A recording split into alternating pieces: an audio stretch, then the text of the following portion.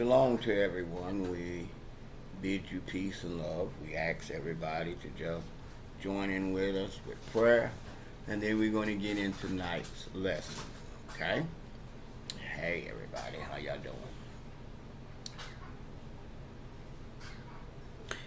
Dear Heavenly Father, we just thank you for this opportunity Yes. to where we can just study your word and be able to share what it is that you have given us with the understanding uh, where you said that your Ruach HaKodesh will bring things back to our memories. And we just Yes. thank you right now. We just ask for your presence. We ask for your anointing because we know the anointing is what destroys yokes and remove heavy burden. And we Yes. thank you that you have allowed us to have that desire and that hunger and that thirst after your righteousness. For you say they that hunger and thirst after righteousness shall be filled. And Shall we thank filled. you as we Yes. doing our study. That you told us to study to show ourselves approved Yes. unto you, Yahuwah, a workman that neither not be shamed, but to rightly divide the word of truth. And we just ask that you will cultivate the hearts and the minds of the listeners, that the word will fall on good ground and bring up the fruit that you was intended for it to bring up. We just thank you right now for your set apart spirit. We thank you right now for your Shekinah glory. We thank you right Yes. now for your wisdom. We thank you right now for your understanding. And we come against any and all satanic forces, every assignment that the enemy has assigned against this lesson on today. Yes. Because our desire is to please you and to lift you Yes. up. And we thank you for it right now. We already know you said bring your word back to your remembrance. Mm. And we know you said in your word, where two or three are gathered in your name, that you would be there in Yes. the midst. And we Yes. thank you right now for your anointing. Let we thank you you. right now for your Let spirit. We thank you right now for for for your completeness. Your And way. we just thank you because we give you reverence. We know that it's not by our way, power nor way. by our might, but it is by your Ruach HaKodesh. And we thank Have you for it right now because we desire to please you. And we answering the call. You say that your spirit is walking it, to and fro to see who you can mm. show yourself mightily through. And at this particular time, we thank you that Thank you you. found favor with my husband Yes. and myself to be vessels, to be used mightily of you. And we just thank you for all these blessings through your son Yeshua name. Amen and amen. Amen. We thank my wife for that prayer. But on this afternoon, we bring you joy because this lesson here exposes the real, true spirit that is at work against us. We know that everybody always say that the devil come to steal, kill, and destroy.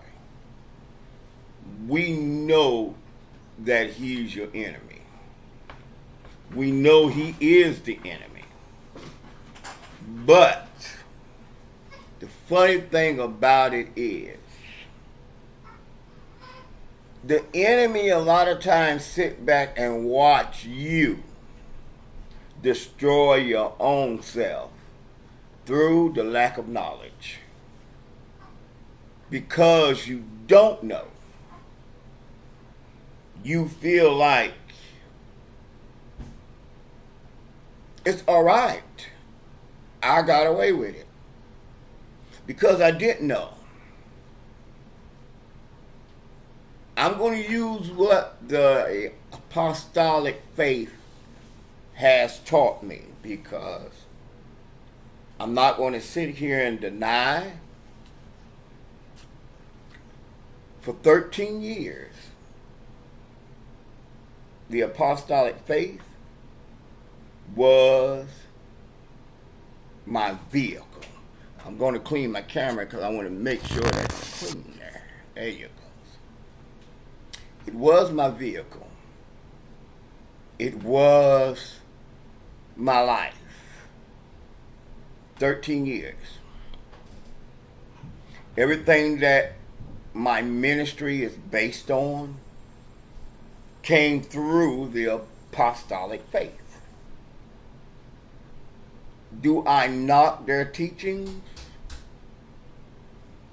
I can't knock anything because I'm not anybody judge. I'm not anybody condemner. I'm not anybody executor. I has no heaven or no hell to put anybody in. All I can do is give you the word. That's all I can do. To give you what is given unto me. Now, if you receive it, fine. If you don't, fine. But there's one thing I want to get out the way that a lot of you try to use as an excuse to do what you want to do. You will read a scripture and you will say, well, that ain't what I believe and that ain't what I'm praying to or that ain't what I'm saying. So it don't apply to me. I hate to break this to you. But when he said, My people perish for the lack of knowledge, he's not only talking about a certain set of people, he's talking about everybody who have the access to get this thing right, but choose not to get it right because Y'all remember we used to laugh at the Baptist people because they used to come with this saying, born a Baptist, die Baptist. Well, all you religious people have picked up that saying and you have closed your minds off because you feel like you got the right truth. Well, I'm going to say this also to you. Well, at one time, I knew I had the right truth. You couldn't tell me apostolic wasn't the way. That was at one time. Until I came into the fullness of the knowledge. So we know how the adversaries say, that hey, that he will. There you go. You come on into this a little bit with us. They can see you. See, there you go. Oh, you just gonna just read. Say hello to everybody. Hello. Okay. Now, first I need you to read me Revelation 10 and 11. Because this is the basis this is the foundation on what is being said today. To steal, kill, and destroy. That's going to be the name of the lesson. And when you look this up on YouTube, look up steal, kill, and destroy. Come on, Revelation 10 and 11. TS. Hmm. Uh, they may not understand any TS. We're going to use King James and then we're going to go back to the TS to help them understand. Come on. Um, and he said unto me, And he said unto me, Thou must prophesy Thou must prophesy again before many people again before many people and nations and nations and tongues and tongues and kings. and kings. See, I want to clarify this. I'm not knocking no other movement. No fire baptized, no Baptist, no Presbyterian, no Orthodox, none of them. I'm not knocking it. I'm not knocking your your apostolic, your holiness. I'm not knocking it. But he told me that I must bring this word before everybody. Because why? How can I change the truth? Let me see. Let me think on this. Uh, how? How can you change the truth? By adding something. By adding something to it or taking something. or taking something away. And see, a lot of times the adding to and the taking away is so subtle, you don't even notice it. Mm-hmm. You would think that I am doing the right thing. What you say, miracle? Oh, yes, but you really not. These young people in here, they will amaze you how much they know the word. But anyway, I'm going to give you a story, and I want you to listen to the story a quick like, and then we're going to move on. Let's say that you was married to somebody for 12 years and you got used to their birthday, let's say in May the 15th. You got used to the anniversary, let's say in December. May and December was the most popular month for the years that you was married to this person. And let's say that you and this person had a divorce. So you went and started talking to somebody else. A lot of y'all sitting out there saying about we don't believe in divorce, we don't believe in that, we don't believe in that. Shut up. We don't even don't want to hear that because that ain't what the story is about. The story is about what I'm trying to show you. You get with somebody else. And when you get with that person, they tell you their birthday and they tell you their and y'all know your anniversary date, but it's not in May their birthday is not in May, and your anniversary date is not in December. But you look at that person and you tell that person, because I'm so familiar with the dates in May and December, let's make your birthday in May.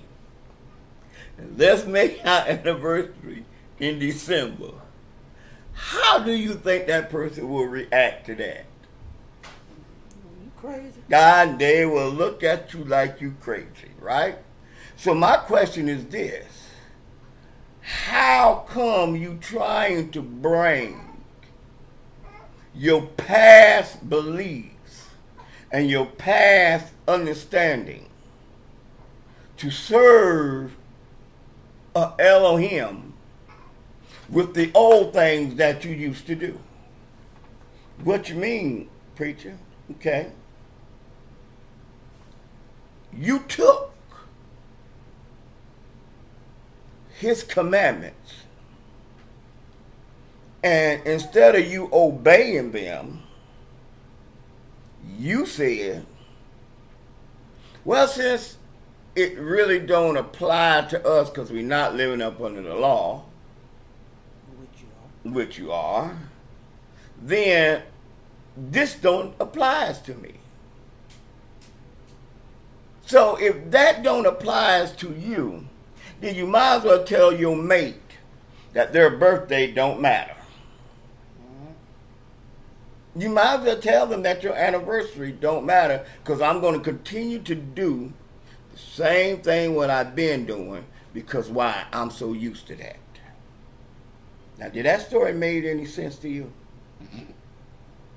Because why? You're continuing to do and serve uh, Elohim, which you call God, you continue to serve him because it feels right to you. Is you serving it his way? No. Is you following his commandments? No.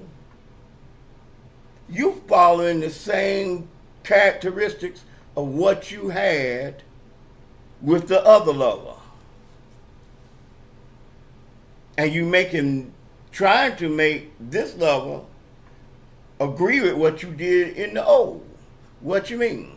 Okay, you would say I stopped drinking, I stopped smoking, I stopped partying, I stopped doing this, I stopped doing that. But there's one thing you have not changed. Your openness. To be able to open and take in new things to be able to build on your foundation. You won't do that why? Listen to me. The four things that the adversary come to kill, steal, destroy is what? First, the commandments. He loves to kill that out your life because you know if you don't keep the law, you don't love Yahuwah. Second thing he tore was the birth. Because if I get you confused on the birth and you don't keep the commandments, then you can't know who he is. Third thing he get and tear you up on his death and burial. Because why?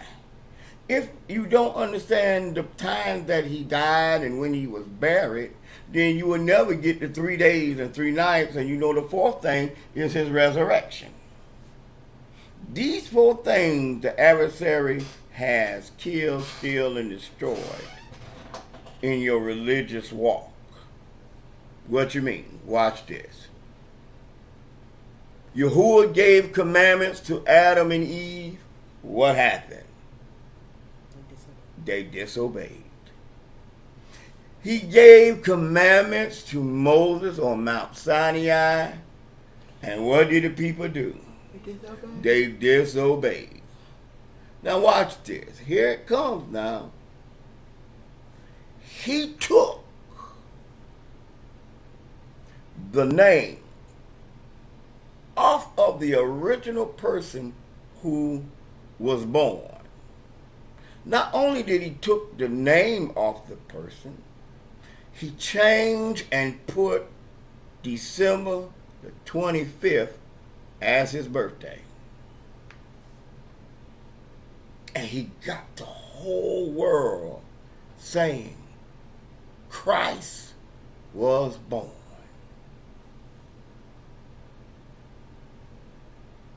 Now, if the commandment they disobeyed and failed,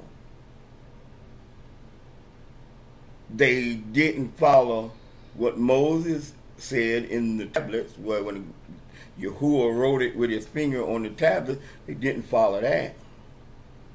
Now they hear and they smiling and jumping and laughing and singing, having commemorate service and all this on December saying Christ was born. Jesus of Nazareth was born on December 25th. And to top it off, they say that he rose Sunday morning that's why you have your sunrise services on the morning of Easter. Now that is beautiful. That is beautiful. That is the best deception that makes the word that says even if it was possible, even the elect's sake would be food. And a lot of us was food. Watch this. I'm going to show you how easy it is. How easy it is to fall for deception. Watch this. Go with me Matthew 1 and 21. But first, I want you to read, go to Matthew 1. Matthew 1 and 1. 1 and 1, and I want y'all to listen at this. Which version? What version you got? The scriptures. Go to the um King James. King James first. I'm going to show you something. All right. Matthew 1 and one The Mhm. book of the generation of Jesus Christ. Stop right there. The book of the generation of Jesus Christ. Right? The book of the generations of Jesus Christ. Now go to the ISR. The book of the genealogy of Yeshua. Okay, the book of the genealogy of Yeshua. Now, when you read them two things, your first mind says, there is no difference. But I want everybody. What's the difference in genealogy and she caught it real quick. I want everybody, first, if you will, Look up the definition of genealogy and see what it says. I know what it says. Define genealogy. I know what it says. Genealogy, a line of descent traced continuously from an ancestor.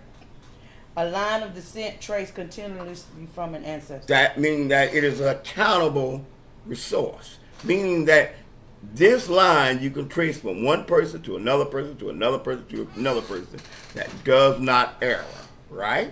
That's genealogy. Okay? Define generation. Find generation. What it says. It got okay in there when we was talking.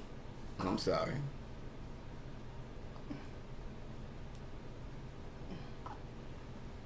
Define generation. All of the people born and living at about the same time, regarded collectively. Now, tell me Reduction or something. how can all of the people born at the same time define a genealogy? A generation is one. See, a lot of you don't realize. And when you go further and you look at these words, it says accountable, the descent of a person.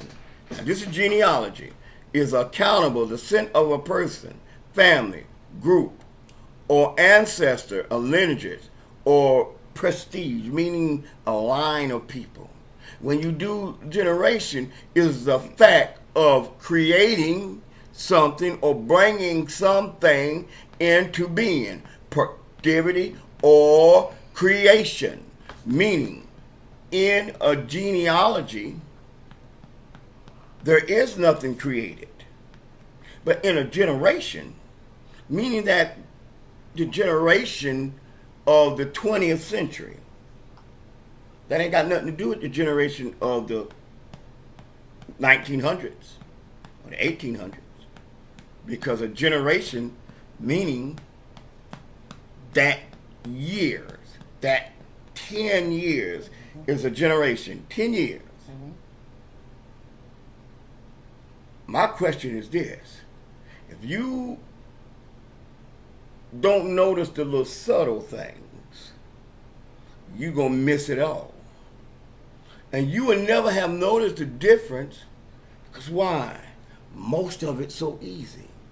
Come here, watch this, watch this, watch this. Come with me to Jude, first chapter, fourth verse. Watch this. Jude only have one chapter, my wife say. So go to that one chapter, Verse 4. verse 4. Uh-oh. Which one? Yes. Yeah, that'd be fine. For certain men have slipped in Certain men have slipped in, in your version says certain men have crept in. Come on. whose judgment was written about long ago. Whose judgment was written about long ago, meaning that the prophets spoke on these men way before these men crept in. Come on.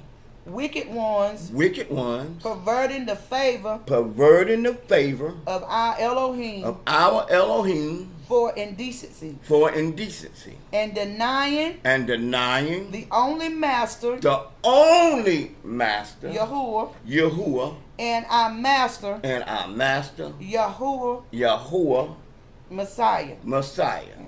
Now, certain ones crept in. And spied out, as your old virgin would say, the same one that you speak of in your book is the same teachings that you are following right now. What you mean? Go with me to Daniel 725.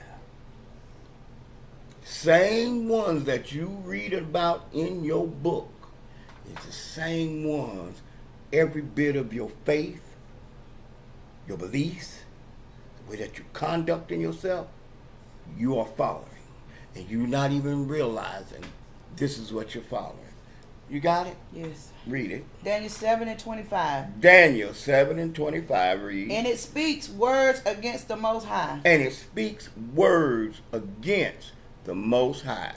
And it wears out the set apart ones of the Most High. It wears you out and beats you down and gets you so confused that you get tired and you say, What's the use? And it intends to change appointed times and laws. There it goes. Read that again. And it what? And it intends to change appointed times and laws. It intend to change appointed times and laws. and they are given into its hands for a time and times and half a time. Now, if you just understood, you're giving into this hands, meaning that you're turned over. Because, see, for a season, the Israelites, who was really the real tribe, their eyes is blinded, that they didn't even understood and see the Messiah. Why they didn't see Yeshua? Because it was prophesied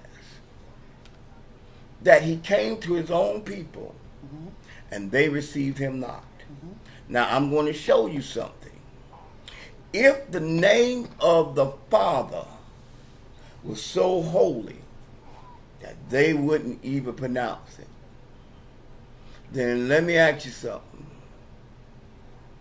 Why can you pronounce the name of the Son?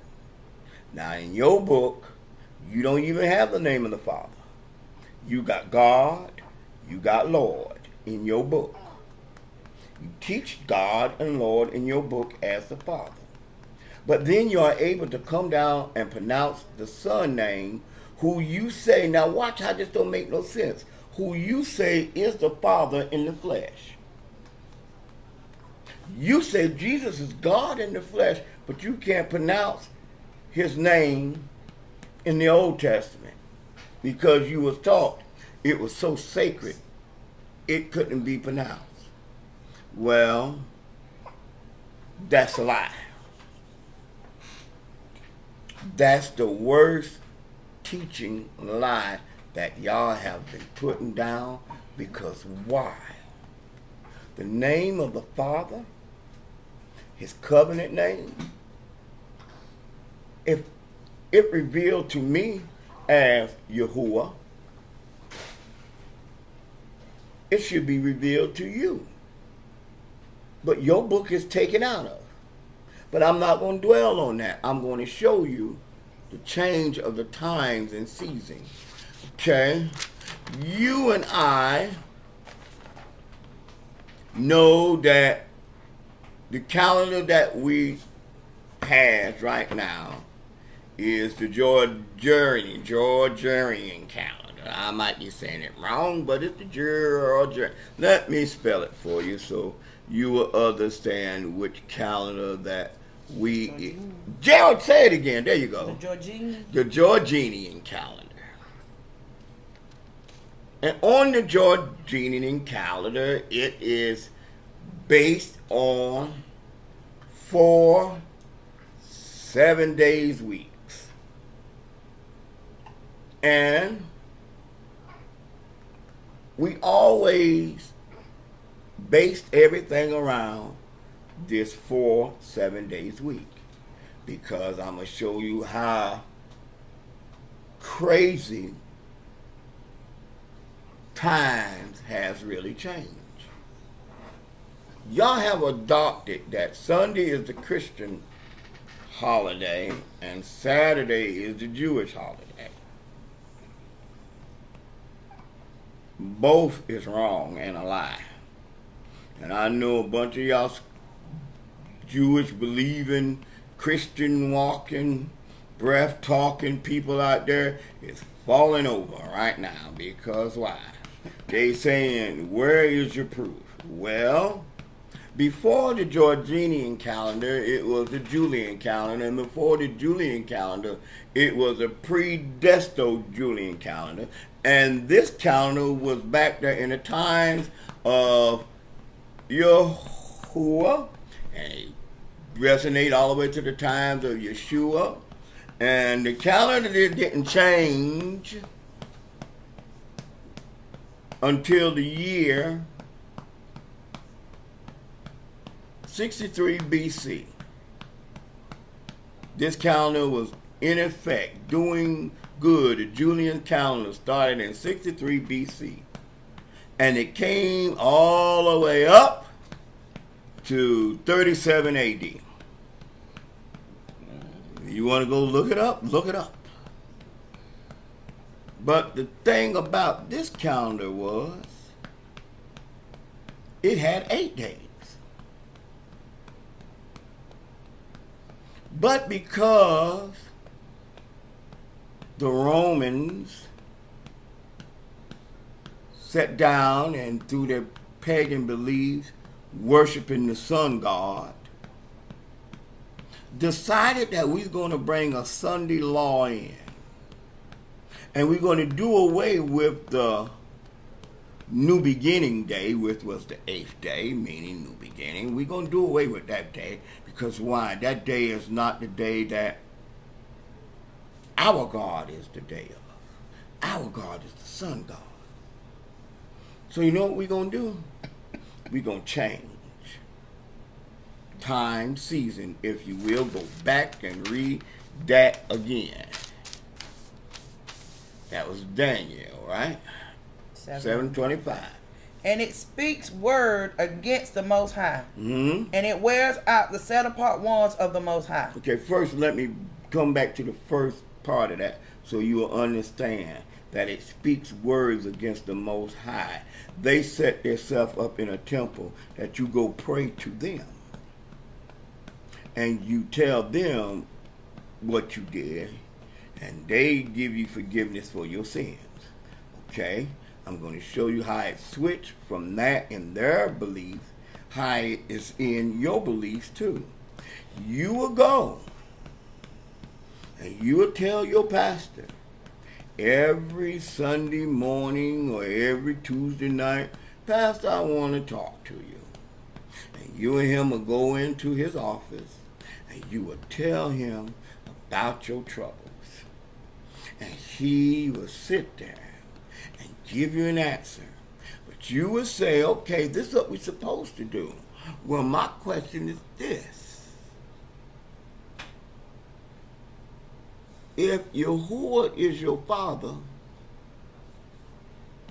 if Yahuwah is your all in all, why haven't you talked to him first? And y'all gonna say, Yahuwah, who you who would you if God as you know him is your God, why don't he talks to you?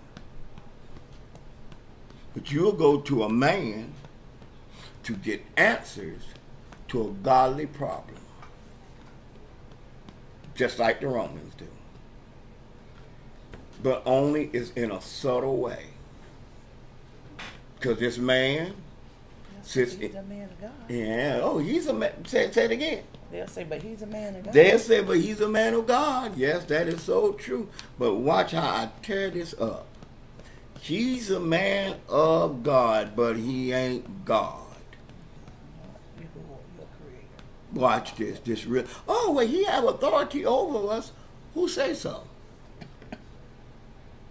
You give him authority. Come on, read the next verse. Uh-huh. Read the next part, and they. and they.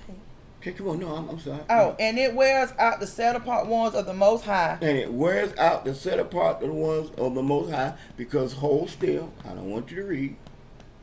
I want you to come and understand. This is where the 27th verse of that chapter makes sense. And it says, and they shall wear out the set apart ones of the Most High. I need you to start at 27. And the reign And the reign and the rulership and the rulership and the greatness and of the, the- reigns uh, under all the heavens. Okay, see the reigns and the rulership and the reigns on the all heaven you have given to this pastor, as you say, come on. shall be given to the people, Mm-hmm. the set apart ones of the Most High. Mm-hmm. His reign is an everlasting reign, Mhm. and all rulerships shall serve and obey him. Him. Not pastor. And what it says right there? The next This, verse? this is the end of the matter. This is the end of the matter. As for me, Uh-huh. Daniel, Mhm. my thoughts greatly alarmed me, Mm-hmm. and my color changed, Mm-hmm. and I kept the matter in my heart. Because Daniel knew good and well that everybody was serving the king. Talks to the king. Whenever Yahuwah is telling him, I am the one. Y'all have given these pastors so much power that they can tell you when you can go out of town, when you can talk to your husband, when you can fix dinner, when you better be in church, when you don't supposed to be in church. He's a man just like you. Furthermore, you need to really investigate what church really is. And you will see the hypocrisy, what you are really in. Has nothing to do with the set apart ones. And you don't understand what the set apart ones is because why? You is drunk with the fornication. Come with me, come with me, come with me. Go with me to Isaiah 14 and 13. I'm going to play with you for a few minutes and then I'm going to tear you up and show you how everything was changed. Isaiah 14 and 13. Mm-hmm. For you have said in your heart, You have said in your heart, Let me go up to the heavens, let me go up to the heavens. let me raise my throne Let above, me, come on. above the stars of air, Mm-hmm. and let me sit in the mount Mhm. of appointment on the sides of the north. Mm-hmm. Now, who said that? Come on, who said that? Half of you ain't even got a clue. Your adversary, the devil, said that. And the funny thing about it, what name that you was given that is above everything else? Somebody saying Jesus? Mm, I know y'all saying Jesus. You're saying it right. But my question is this. Ask yourself for real now.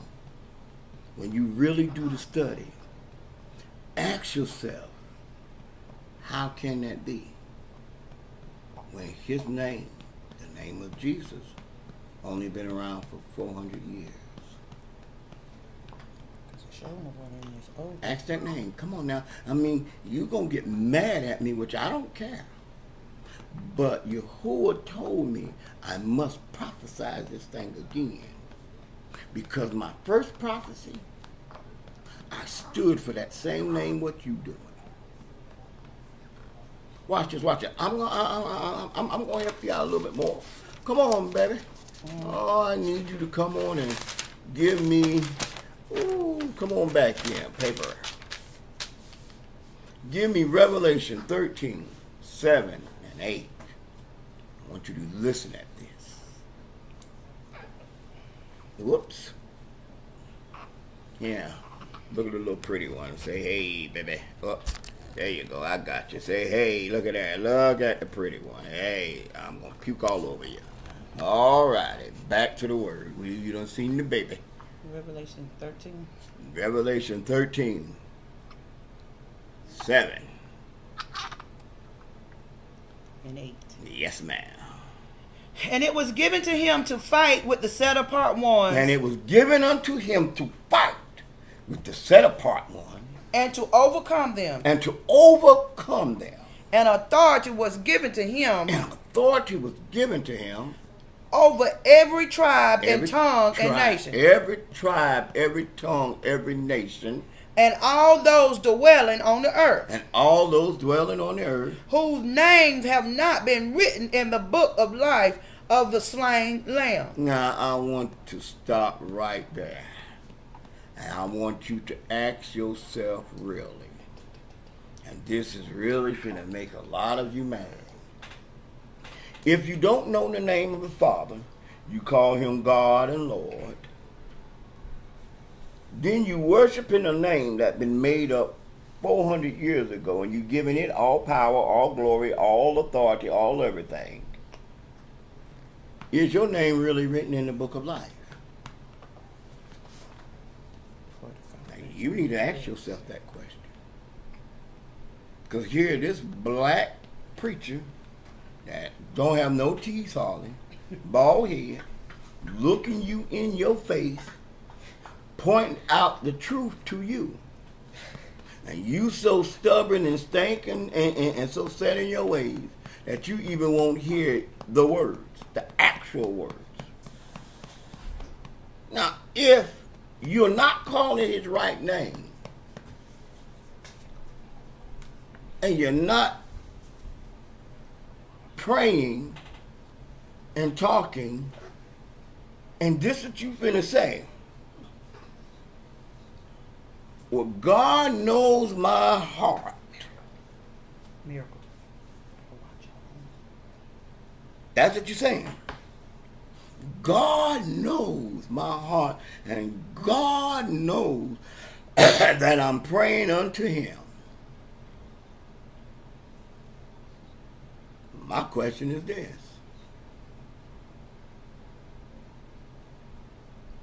Do He? And what makes you so sure that you can call the wrong name? You can worship the wrong day. You can emphasize with the wrong person, but still come out to be right. Now, how is that? You help me out on this. If you take the wrong medicine at the wrong time with the wrong dose, what happens to you? You get sick or die. So, how you expect that you're going to pray in the wrong name, worship the wrong title, lift up a made up name, and you still be right? Because you say, He knows who I'm talking to in my heart whenever the right name is given to you, but you reject it for the wrong name. His name is Yahuwah. His son name is Yahshua. Now you ain't got no more excuse. Anybody who look at this video, you cannot walk away and say, I did not know. I'm gonna put another nail in your coffin right now. Say it again. Once you know the truth, you have to walk therein. You got to walk therein once you know the truth. I'm going to put another nail in your coffin. Go with me to Daniel 6 and 5. Mm-hmm. I, I, I'm all over it tonight. Cause I got I I got some stuff I'm finna really give you. Daniel 6 and 5. Six and five. Then these men said, Then these men said, We shall not find any occasion against this Daniel. Listen to me. We ain't gonna find any occasion against this Daniel. unless we find it against him concerning the law of his Il- Elah. Uh-huh. Okay, hey, what's up, Flex? Unless we find it concerning the law against his Ihah. And if you know what that meaning, they saying against his what? Creator, Father. Creator. We can't find nothing wrong against him. Unless we find something concerning the way he worshiped. And the funny thing about it is that's going to get you. If the way you worship wasn't important, then no way they could have got Daniel on the way he worshiped. hmm It was easy would have been easy for Daniel to slip through and say, Hey, you know, this is just the way I worship. And God knows my heart. Or the king knows my heart. When Daniel wasn't worshiping the king, right? Right. Mm-hmm. This is where Daniel got in trouble, as you would say, and got thrown in the lion's den because why? He bowed down and prayed three times a day out of his window to his God, as you say. Now, these your words. Read them in your book, in your King James printed up book. He got in trouble for bowing down three times a day, praying to the God of Daniel. Right? Right. So my question is this. If Daniel was calling on the name of Yahuwah and not on the name of the king, but he was praying, right? He was worshiping. He was bowing down like everybody else did. But he was saying it to his God. Like you bow down and you worship and you give it to the name of Jesus, smiling and jumping and clapping and you even took that name and said that's the name of the Father. You gave Jesus to the Father, Jesus to the Son. You gave Jesus to the Holy Ghost, and you pray and pray and pray and pray. And watch this. The same way the king disciplined Daniel because he made a decree and the oath saying that anybody caught not bowing down to this specific thing shall be persecuted. What makes you think you, that our Yahuwah is saying? Hmm? Oh, come on here now. This thing is really getting close to you because you've been praying God and Lord for so long. And was that okay? That was good because why? You didn't know no better. But now that you know better, see the funny thing about it, there is nothing new under the sun. Hmm? Nothing new. If you will.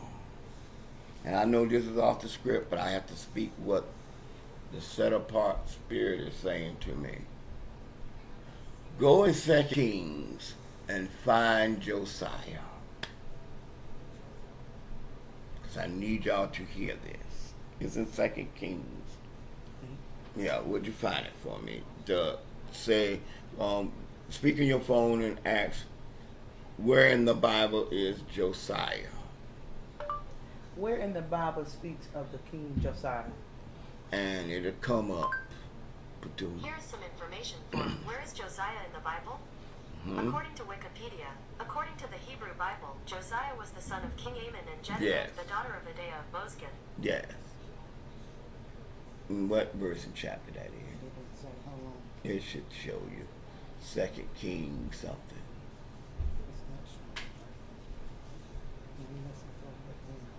Yeah, let me help you there. It's in Kings. Oh, I cut my phone off. Right, Josiah, the king of Judah, hit it. It's just a picture. Okay, Second Kings 22. Second King Kings, do it now. I know it was Second Kings. Help me out. Twenty-two and two. Mhm. Mm-hmm. Yeah, that's the one that Josiah. I need, uh, yeah, I need you to read when he was eight years old and began to reign. All right. Second Kings 22, verse Mm-hmm. 1. um, Josiah was eight years old when he began to reign, and he reigned thirty-one years in Jerusalem. And his Listen. Go ahead. and his mother's name was Yediah, Mm-hmm. the daughter of Adiah of Boskwa. Mm-hmm. And he did what was right in the eyes of Yahuwah, Mhm. and walked in all the ways of his father David, and did not turn aside right or left. Did not turn aside right or left. Come on. And it came to be Mm-hmm. in the 18th year of sovereign Josiah, Okay, listen to me. In the 18th year of his reign, meaning he was 18 years old. that the sovereign sent Shaphan the Mhm. scribe, Mm-hmm. son of Ashur, son of Meshullam, to the house of Yahuwah, saying, Listen now. I want you to listen. For 18, for for 10 years, because he was eight years old when he came. For 10 years, they've been serving this way. 10 years. So he sent his scribe to the house of Yahuwah, saying, Go up to Helquah the high priest, Go up to the Helquah, the high priest, and let him weigh the silver which has been brought into the house of Yahuwah. meaning I'm bringing you some money to repair the house of Yahuwah, Which the doorkeepers have gathered from the people. which they have gathered up from the people to restore. Come on. And let them give it unto the hand of those doing the work. Meaning that he's paying the workers for the work that they've done, which a lot of you churches, you fall so slack on this. You figure because of the church you're supposed to just do the work. But that ain't the way that the book speaks. The book speaks, pay a man for what a man does. But I'm not getting into that. That's another subject. Come on, read. Who are the overseers in the house of Yahuwah, Mm-hmm. and let them give it to the to those who are in the house of Yahuwah Mhm. doing the work Mhm. to strengthen the breach of the house. Yes, to make repairs. Come on. To carpenters and to builders and to stonemasons Mhm. and to buy timber and hewn stones to Mhm. strengthen the house. Yes, he paying them. However, let not the silver given into their hand be reckoned with them, for they are acting trustworthy. They meaning that whatever he give to them, let them not do nothing different with it, but do what you're supposed to. Come on. And Hakwel the high priest said to Shaphan the scribe, Now watch this. As they rebuilding the house, the high priest came up and told the scribe who was sent from Josiah. What did he tell him? I have found the book of the Torah in the house of Yahuwah. I have found the book of the Torah in the house of Yahuwah. Now watch this. And Hekor gave the book to Shaphan, Uh huh. and he read it. And he read it. And Shaphan the scribe came to the sovereign Uh huh. and brought word to the sovereign, saying, Saying. again, saying, Your servants have gathered the silver Mhm. that was found in the house, and have given it into the hand of those who do the work, Mhm. who oversees the house of Yahuwah. Mm-hmm. And Shaphan the scribe informed the sovereign, saying, Hekulam, the priest has given me a book. Mm-hmm. And Shaphan read it before the sovereign. Mm-hmm. And it came to be, when the sovereign heard the words of the book of the Torah, that he tore his garments. Stop right there. Whenever the sovereign or y'all in your book, it would read, you know, Josiah read the book of the Torah. He tore his garment. Now, have you who read this story over and over and over, have you understood the magnitude of the tearing of the garment? I know you didn't because you just felt like he was mad and he tore his garment. But listen, whenever they tore their garment, that was a sign of being pulled apart from the old. Now I'm looking for the new because I have torn away my sins in wrath and in anger and showing my sovereign one that this is not part of me. So I tore my garment. This is not a part of me. Come on. I don't know who or what that is, but Josiah knew that this, what he heard, And the sovereign commanded Haklah the priest, and Aquam son of Shaphan, and Arbar son of Machiah, and Shaphan the scribe, Listen. and Asha a servant of the sovereign, saying, Go inquire of Yahuwah for me, Mhm. for the people, and for all Judah, hmm concerning the words of this book that has been found. listen, For great is the wrath of Yahuwah that is kindled against us, because our fathers have not obeyed the words of this book. stop, stop, stop. Look at this. You, you, you ain't seeing this. This Boy, he boy, he's trying. Y'all excuse how it's freezing and coming off because why? He do not want you to hear this. But as he said, my our fathers have not obeyed the words in this book. My question is this. How can I teach you the right way when I don't even have the right way my own self? How can I teach you his name when I don't have his name my own self? See, this is why the scripture said that if the blind lead the blind, they both fall in the ditch. This is why it plainly tells you study. Study to show yourself approval unto Yahuwah. You have to show Yahuwah that I am willing to dig through your word and find the truth. Amen. Because why? Listen what happened in Josiah day. Come on. According to all is written concerning us. Mm-hmm. Then Heconiah the priest and Ak- Akram and Akbar and Shaphan and Asaiah went to Huda, Mm-hmm. the prophetess, the wife of Now Sh- stop stop right there. You notice it said prophetess. Meaning that it was a woman. For all y'all who sit out there and knock women. They went, and this in the Old Testament. They went to the prophetess, the wife of Shalom, the son of Toal, the sons of Haran, the keeper of the wardrobe. Now she was dwelling. Oh, I'm sorry. Go ahead. You read.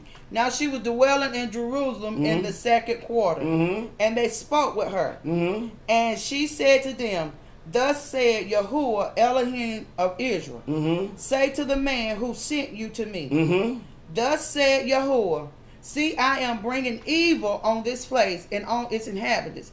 All the words of the book which the sovereign of Judah has read, because they have forsaken me and burned incense to other mighty ones to provoke me with all the works of their hands. Listen, please stop right there. To all y'all cross building, David Star wearing, crescent moon toting, all y'all who last suppers, angels carrying fish, putting on your cars.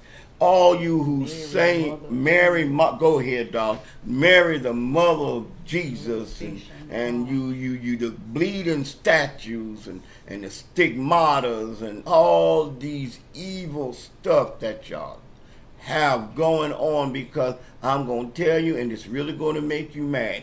Even the name of Jesus, and that really done fried a lot of you. That really done tore up a lot of you. This is why, as he said, I'm going to bring evil and wrath and vengeance upon you because now you know his name.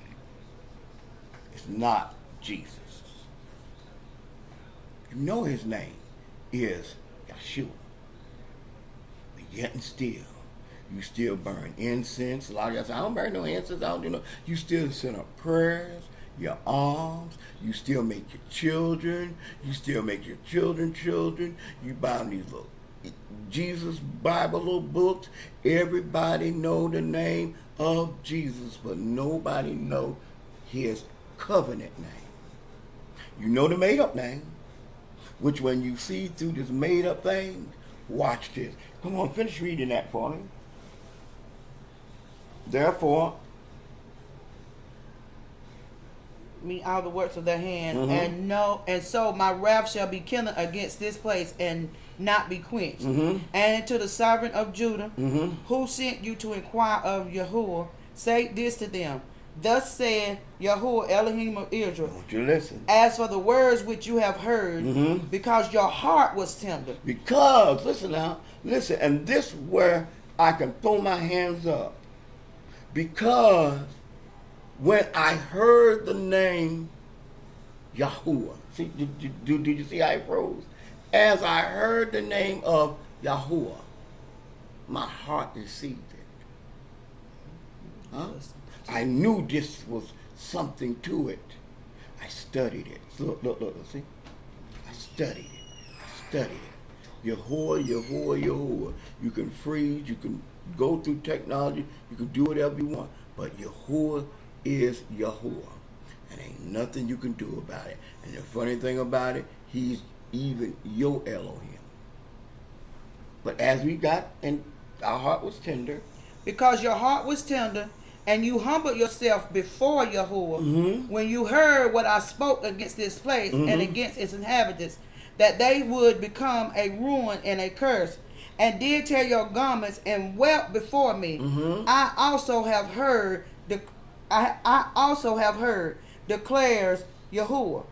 Therefore, see, I am gathering you to your fathers, Mhm. and you shall be gathered to you to your burial site in peace, Mhm. so that your eyes do not see all the evil I am bringing on this place. And they brought word to the sovereign. listen to it. Now, these are not my words. I didn't wrote this. And you don't have to believe this. But watch this.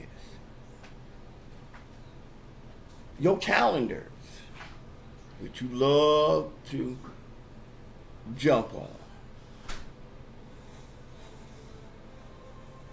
You don't even realize that the real calendar, Saturday was the first day. Because it was named after the planet Saturn Day. And it was the first day of the week. Go study, go look for your own self. Sun, as you said, solar day or Sunday is the second day of the week. Lunar, which means the moon god, was the third. Mars, which is the fourth day. Mercury, which is the fifth day. Jupiter, which is the sixth day. And Venus, which was the seventh day. All of them is pagan days. But that's the way that the calendar looked. Before, and now on the afternoon, they shift Sunday to the first day of the week because they say this is the day that our Lord Jesus rose. And he rose on the first day of the week. So we're going to switch it to the first day of the week. Now you need to ask yourself, ask yourself this question. How can somebody rose on the first day of the week when he was only born 400 years ago? And I know, I know good well what you're going to say. I am an American, and I speak English. You do. So why do you call our Mexican friends Carlos? That's not English. Why do you call them Jesus? Hmm? Come on. Jesus. Come on, watch this. See, I'm finna show you how ridiculous your terminology is. And don't get me wrong, I didn't follow it my own self until I found out the truth. Because I defended it just as much as you. Watch this, watch this, watch this, watch this. There was a religion, and, I, and, I, and I'm sliding this over because why I want I want to bring this closer to me. There was a religion, a religion that spread through the Roman Empire called Martyrism. Would you look up that word, M I T H? Okay, I'm going. I'm. I'm gonna slow down. Mm-hmm. And I want y'all to watch this. What's the word? M I T H R A I S M. M I T H R A I S M. Yes, ma'am. The court of the God. Tell me what. I want y'all to listen at this, and I want you to look it up for your own self. What is martyrism? Help me out. The cult of the god Marthas, Marthas, who became popular among the Roman soldiers who became popular among the Roman soldiers. of the later empire hmm and was the main rival to Christianity in the Mhm. first three centuries AD. First three centuries AD, because you know in the fourth century, watch this now. This is really going to get you. In the fourth century, Constantine, the Roman emperor, converted to Christianity, right? Right? Yes, he did. And when he converted to Christianity, he brought all the whole, whole, still. I need you to stick with Martyrism. Go back, yep, yep, yep. Go back to Martyrism. When he converted to Christianity, he brought all them over, all them pagan days, all the Armenian stuff. He brought them over, and he incorporated it into Christianity. Now, I need you to read uh, read that. That'll work. Read that. I want to give you a little background on what Martyrism is. Okay. Yeah. Marthraism, Marthraism Mhm. is a Roman mystery religion that flourished in the second through the fourth centuries CE. Mm-hmm. Much is still unknown about this secretive sect, Mhm. but it involved the worship of the Persian god Marthas in caves, a comical meal, and initially through seven stages of an astrology themed heresy. Mm-hmm. Marthas is known almost entirely from physical artifacts and dictionary inscriptions.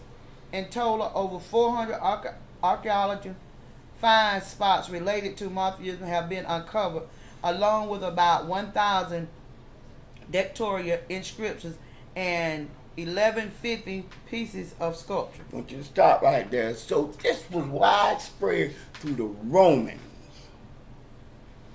And the Romans really, come on, come on, come on to this. And the Romans really believed this because it was right there alongside Christianity. Now, I want you to hear this for yourself. Mhm. Read that. Right there. The time The time period in which Marthaism flourished is better known, thanks to the archaeology evidence. The cult of Marthaeus appears suddenly in the second century Mhm. CE. Hundreds of inscriptions begin appearing after 136. Mm-hmm. It then died out with the rest of Greco-Roman paganism after the conversion of Constantine in the fourth century. Now you think about it. What better way to get a people to worship me? The better way to get you worship me is to appear that I don't exist. Mm-hmm. Right? Come on. Mm-hmm. I, need- I, I'm gonna need you to read it. So after the thing of Constantine, and I told you in the beginning of the lesson, little subtle things is what he gets you at. After Constantine, in the fourth century, suddenly, come on, read it again. Martyrism suddenly immer- immersed in the Roman world has not been explained according to the Encyclopedia Britannica. Mm-hmm. The most plausible hypothesis seems to be that Roman monotheism was practically a new creation, Mm-hmm. wrought by a religious genius who I want you may listen. have lived at late as C100 CE and would gave the old traditional Persian ceremonies a new Platonic interpretation, Interpretation. that enabled monotheism to become acceptable to the Roman world. Now, my question is, what is that name that they have given unto the newfound? Now, remember now, remember now, Constantine was a Roman, right? And this thing spread. Now, I'm, now I'm gonna show you how widespread it was. Paul had a lot of journeys in Turkey or Istanbul, as you know. This thing was in Turkey. And Paul went up and said that they even had something to the effect, an altar to the unknown God. That they prayed to a unknown God. And Paul took that platform and introduced them to Yahuwah. But after all this went through, there came a man, a ruler, mm-hmm. and I want to get to that ruler. Okay. Right there. Yes. Martyrism is frequently said to have been a great revival to early Christian Christianity, Christianity. especially in popular books written by non-specialists. Mm-hmm. According to most academic sources, however, the archaeological evidence does not support this claim. Come on. Although it was widespread in terms of geographic, Martyrism never had great numbers. Mm-hmm. Christianity was not terribly large or influential in this period either. Either. Come on. A few hundred tem- temples of Martyrs have been discovered across the Roman Empire, but they are all very small, according to the Oxford Dictionary of Classical Myth and Religion. Now watch this now. Watch this. In order for me, in order for me to be able to influence a lot of people with my belief, the only way to do it, which you know how the adversary does it, he would take a counterfeit belief and mirror it into the true belief to get the people to follow something. Watch this. A lot of the people in the Old Testament got in trouble whenever the Lord said, Go in, destroy everything. Don't leave nothing, no grass, no cattle, no nothing. A lot of the people felt like, well, this is a good altar. Let's clean it up. Let's sacrifice our burnt offerings on this altar to our Elohim. And this in wrath our Elohim. Because why? How can you take? Come on, yes, come on, don't worry, I'm getting to that. How can you take something that is dirty and try to put something clean on it and it don't get contaminated? Well, watch this. Come on, read for me, darling. Read it. Um, right. Start where you was. Read it. Okay. Even if all were in service contempor- contemporaneously, they would accommodate no more than 1% of the population. Scarcely the great rival to Christianity that inflated views of the cult have sometimes made it. Whether or not they were rivals, it is certainly possible that these two contemporary communities had some influence on each other. Come on. In at least one area, it is clear that Christianity Woo. adopted an aspect of Marxism. Wait a minute. Wait a minute. You. Christianity adopted an aspect of Marxism. It's clearly, It's clearly. it's clear that Mar- that Christianity adopted an aspect of Marxism. Now, how did they adopt it, the aspects of monotheism? Whenever Constantine said, I am a Christian. Hmm? Come on. The celebration of the birth of Christ on December the 25th, Here it comes. a tradition that began in the 4th century, Come on. A Christian writer admitted this in 320, Listen, listen, listen. explaining, "We hold this day holy, not like the pagans because of the birth of the sun, S-U-N, S-U-N. but because of Him who made it." December the 24th was also the birthday of the more popular Roman god known as the Unconquered sun, S-U-N. With- Taboo. with whom Constantine identified himself before his conversion to Christianity, who was closely associated with Marxism. Wow.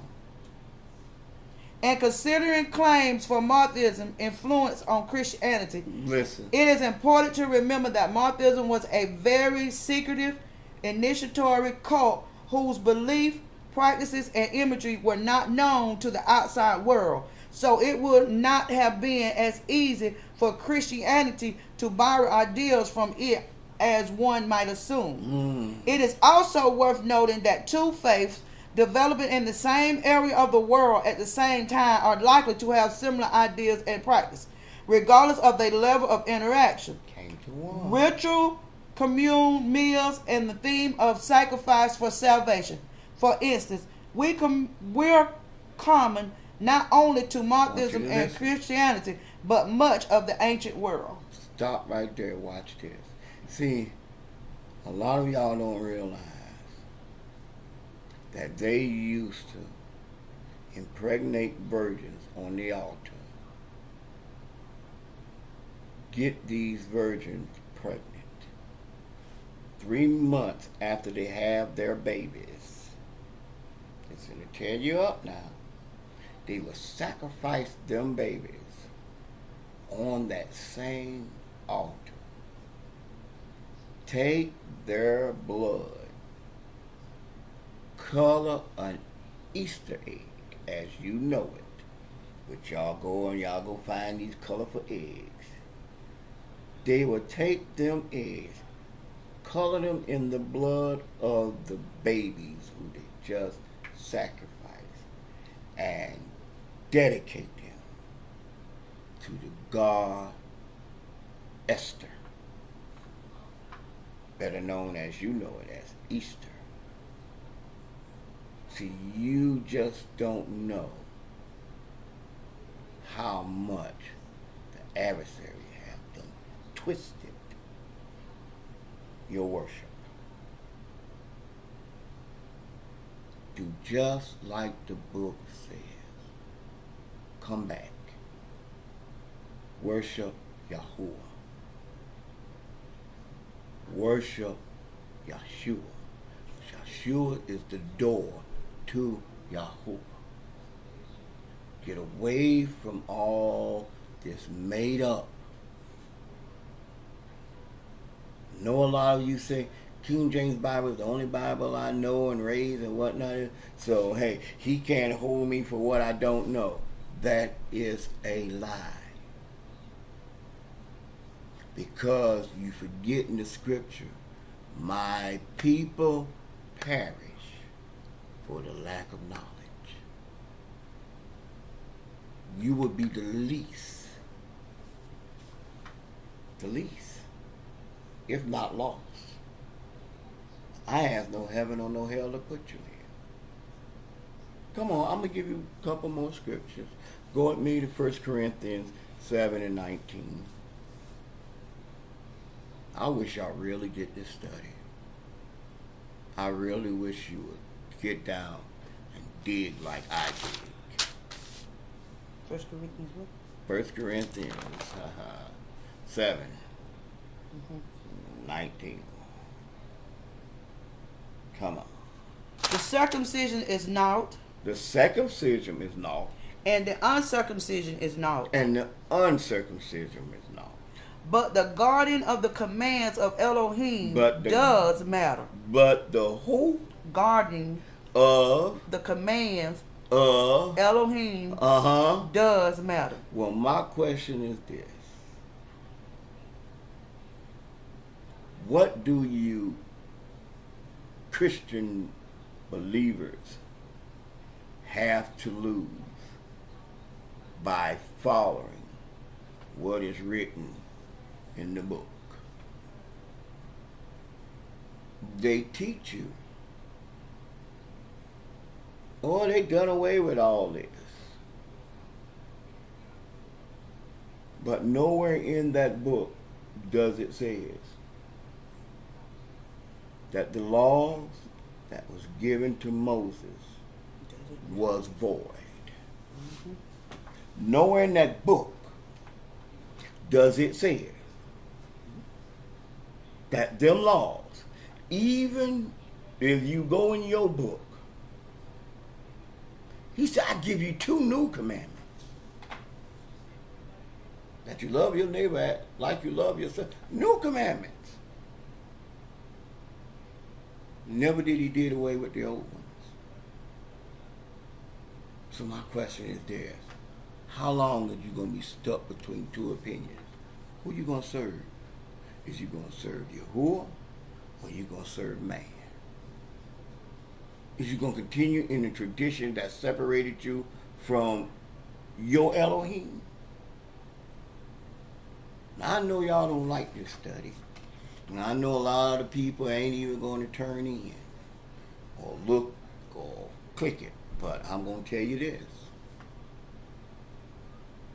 What you feel don't get you through the gates. What you think don't get you through the gates. Because he tell you, lean not to your own understandings. Watch this, watch it. I got one more for you. Come on to Acts 20 and 7. Let me stick this in there. No, I got two more because we're going to go to Revelation 13 and 18 too. And then I'll be finished. Acts 20 and 7. Yes.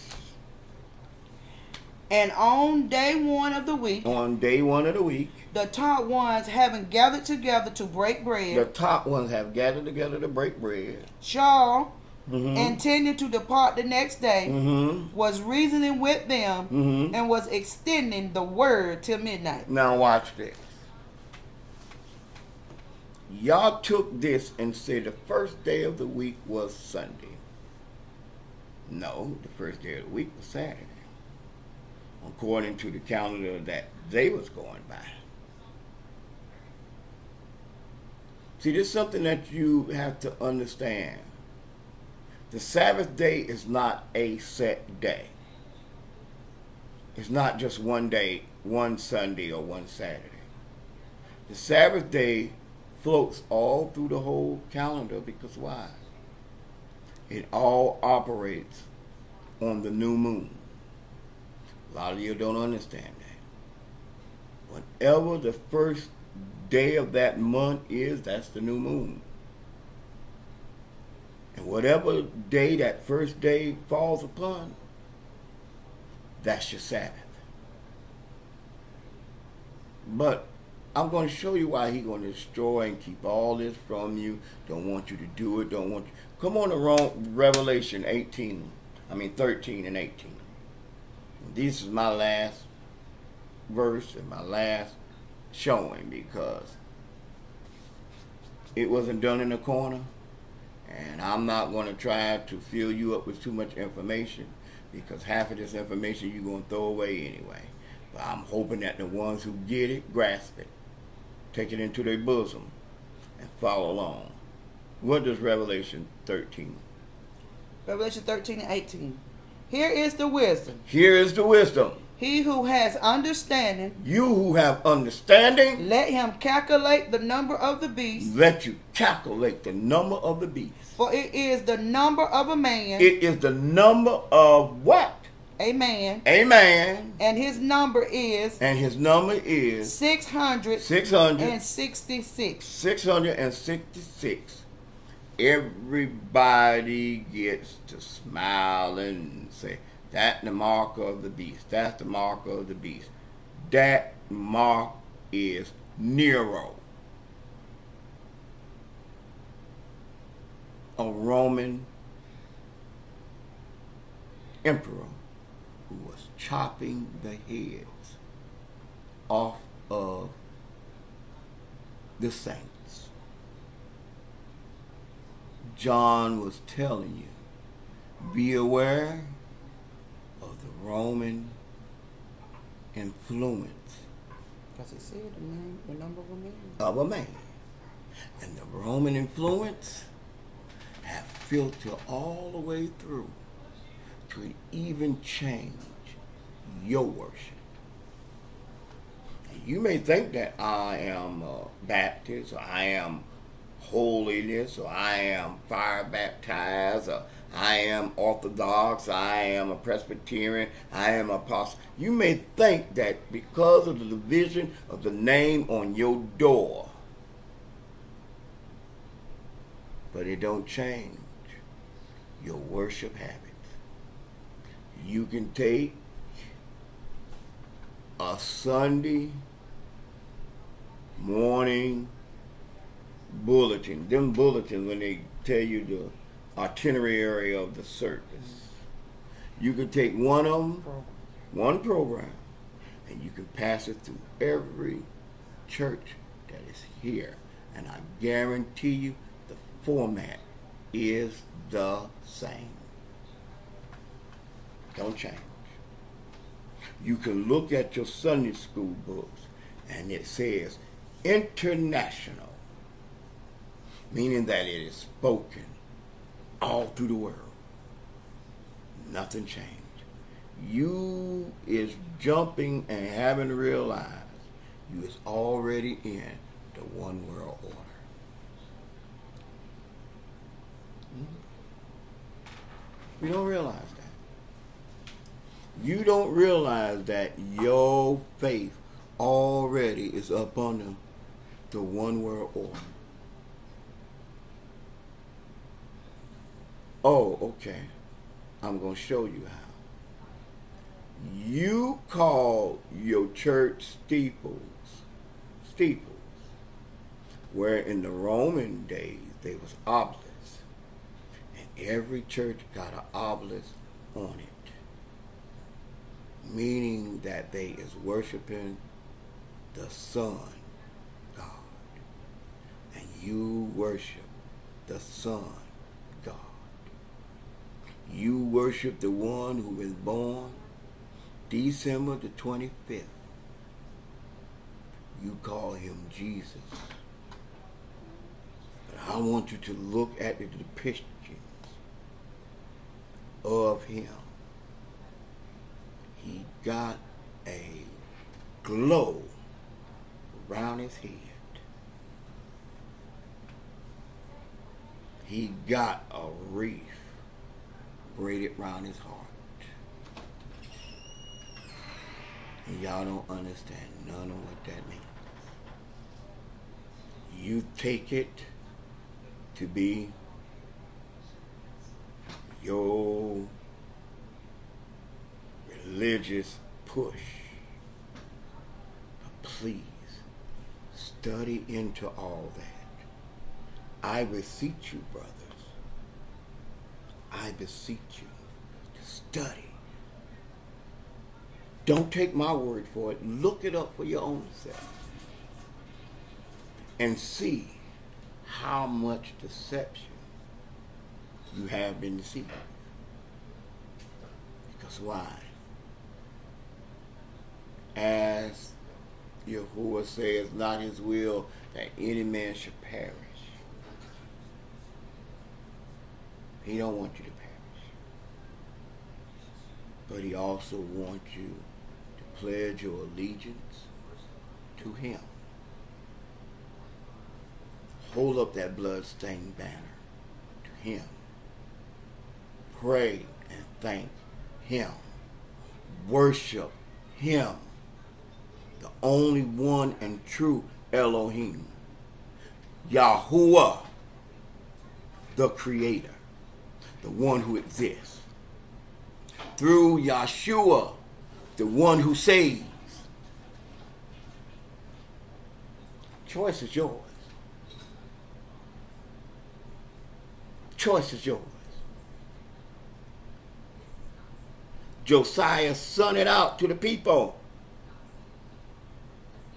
Had it read before Judah and Jerusalem.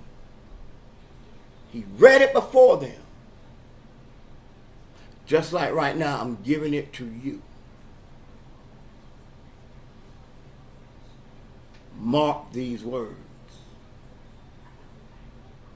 Yahuwah is coming. And those who don't have his name written in their hands and their foreheads, it's going to be lost. Jesus will not save you.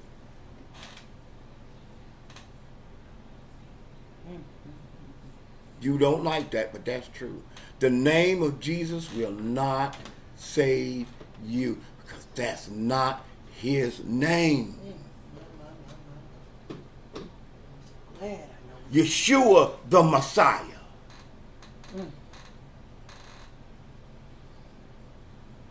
Yo, Jesus Christ, that's English mixed with Greek. Italian. Our Elohim was Hebrew and not from the Babylonian people. Understand that he moved at his name. Power in his name. Yes, glory.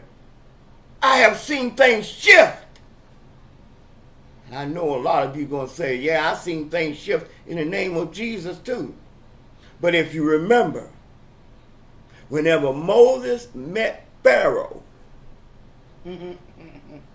Pharaoh musicians cast their rods down and they became serpents. Moses cast his down and it became a serpent. So we understand that terminology is the same. But except Moses on ate all the other serpents. My, my, my, my. Same thing. Yo, Jesus, you see miracles. My Yeshua, I seen miracles. But the funny thing about it, I can call on Yeshua today, and today he'll answer. I don't have to wait. It's proven. He proved that to me today. I don't have to sit here and wait for a appointed time because why? I serve a right now Elohim, and his name is Yeshua. See, you see, see, see, you don't understand why I say his name is Yeshua because through him I get to Yahuwah. Yes. See, It's the name. the names. Understand. Say it again. Say it loud. It's it's the name that you're using. It's nothing wrong with you believing and trusting, but it's the na- it's the name that we're trying to get y'all to change. It's nothing wrong. We we don't want you to think that your belief in believing in a higher power, a greater source, as we may say it, we're not knocking that. But what we are saying is that the name, we should be using his covenant name. And once we begin to use his covenant name, you will see the same works that he did. You'll be able to see that. You'll be able to, to experience his Shekinah glory when you come together in the name of Yeshua. And you call on Yahuwah and his Ruach HaKodesh. You will be able to see it because we are not using a translated name. We are using his covenant name. We're not using a nickname we are using his real name. And most people will respond to you quicker when you use their real name instead of a made up nickname. So we want you to understand that we need you to change the name because of the translated version. When you call it and you use it, it has lost its power. Yahuwah is more powerful than God and Lord because that's the first stage. Yeshua is more powerful than Jesus because his name is Yeshua. We got to still go through him in order to get to the Father. Use his covenant name. First time for everything, because heck, they told me they weren't going to even be seen.